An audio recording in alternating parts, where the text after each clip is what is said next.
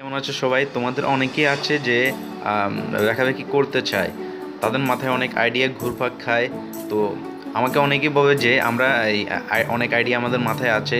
কিন্তু যখনই লিখতে যাই, তখনই হচ্ছে আমাদের আইডিয়াটা আর আসে না। মানে আমরা লিখতে পারি না। এই এটা হচ্ছে একটা সমস্যা যে লেখালেখির জন্য আসলে আইডিয়া তৈরি করার ক্ষেত্রে অনেকের অনেক ধরনের সমস্যার সৃষ্টি হয়ে থাকে।